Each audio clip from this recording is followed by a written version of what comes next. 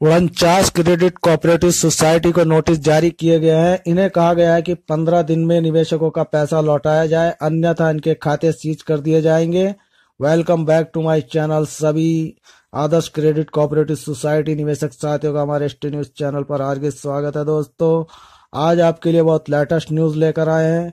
News सुनाने से पहले आपसे हमारा अनुरोध है कि आप अगर हमारे चैनल पर पहली बार आए हैं या अभी तक आपने हमारे चैनल को सब्सक्राइब नहीं किया है तो साथ के साथ हमारे चैनल को सब्सक्राइब करें और हमारी बेल आइकन का बटन दबाएँ ताकि हमारे द्वारा बनाई गई एक लेटेस्ट वीडियो पहुँचे सबसे पहले आपके पास।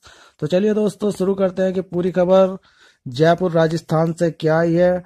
12 नवंबर की ये लेटेस्ट न्यूज़। राजस्थान में हाल ही में क्रेडिट कोऑपरेटिव सोसाइटी के सैकड़ों करोड़ों का फर्जीवाड़ा सामने आने के बाद इसके खिलाफ शिकायतें बढ़ती जा रही हैं। राजस्थान के सहकारिता विभाग की वेबसाइट पर शिकायत दर्ज कराने के लिए दिए गए नए लिंक पिछले 20 दिन में 4,500 शिकायतें आ चुके हैं जिसमें शिकायतकर्ताओं ने करीब 142 करोड़ रुपया फर्जीवाड़े की शिकायतें की हैं। राजस्थान में हाल ही में आदर्श संजीवनी नवजीवन और कुछ अन्य क्रेडिट सोसाइटियों द्वारा निवेशकों के पैसे के दुरुपयोग की शिकायतें सामने आई थी और पुलिस ने इनके संचालकों को गिरफ़्तार भी किया।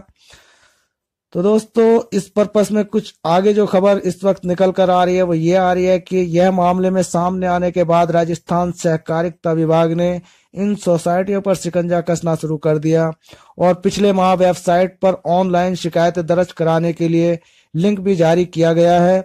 इस पर निवेशक जिन निवेशक जिसको भी कोऑपरेटिव सोसाइटी के खिलाफ शिकायत देना चाहता है वह दर्ज करा सकता है। बीते शुक्रवार तक इस लिंक पर 4,500 शिकायतें आ चुकी हैं जिसमें से 142 करोड़ फर्जीवाड़े की शिकायत दर्ज हो चुकी हैं।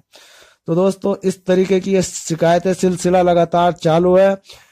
हर शिकायतों के आधार पर विभाग में अब हर शनिवार को सहकारिता रजिस्ट्रार्ट कोर्ट में सुनवाई भी शुरू की जाएगी। जी हाँ दोस्तों, जैसा कि मैंने आपको पिछली वीडियो में बताया था, उसी के आधार पर ये न्यूज़ फिर हमारे सामने निकल कर आ रही है। जी हाँ दोस्तों के पवन के द्वारा इस वक्त उनके हाथ में सहकारिता रजिस्ट्रार की पावर बढ़ा दी गई है और उन्हें ये आदेश भी किया गया है कि सहकारिता रजिस्ट्रार की कोर्ट में हर शनिवार को सुनवाई की जाए। इसके अलावा फर्जीवाड़ा करने वाली उनचास क्रेडिट सोसाइटियों को नोटिस भी जारी किया गया है। उन्हें कहा गया है कि पंद्रह दिन में निवेशकों का पैसा लौटा, लौटाए, अन्यथा उनके खाते सीज कर दिए जाएँगे। आपराधिक मामलों, मामला दर्ज करने की भी कार्रवाई की जाएगी। जी हाँ दोस्तों, कुछ उनचास क्रेडिट सोसाइटियों को इस तरीके की नोटिस दिए गए हैं। पंद्रह दिन के अंदर निवेशकों के भुगतान करने की ये बड़ी बात सामने आई है।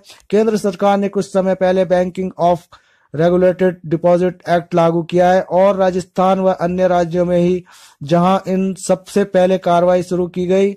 इस एक्ट के तहत सहकारिता रजिस्ट्रार को समक्ष प्राधि घोषित, प्राधिकारी घोषित कर सिविल न्यायालय की शक्तियाँ दी गई हैं। यहाँ दोस्तों, जैसे कि हमने आपको बताया था कि रजिस्ट्रार को जो शक्तियाँ दी गई हैं, उनकी घोषणा यहाँ पर की गई है।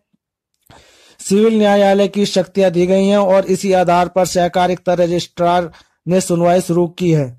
जहाँ दोस्तों, सुनवाई शुरू करी जा चुकी है और दोस्तों, आगे की न्यूज़ जो भी हमारे पास आएगी, वह हम आपको ज़रूर बताएँगे, लेकिन इतना ज़रूर कहेंगे, एक्ट के एक्ट में रजिस्ट्रार की गलत काम करने वाली सोसाइटियों के खातों और संपत्तियों को सीज करने का अधिकार भी दिया गया है। सहकारिता रजिस्ट्रार नीरज के पवन ने मीडिया से बातचीत में बताया कि विभाग अब इन सोसाइटियों के खातों और संपत्तियों की जानकारी एकत्र कर रहा है और सुनवाई और शिकायत सही पाई जाए, पाई गई तो संबंधित सोसाइटियों के खातों में उपलब्ध राशि और उनकी संपत्ति बेचकर निवेशकों का पैसा ब्याज सहित लौटाने का बड़ा ऐलान के पवन ने किया है।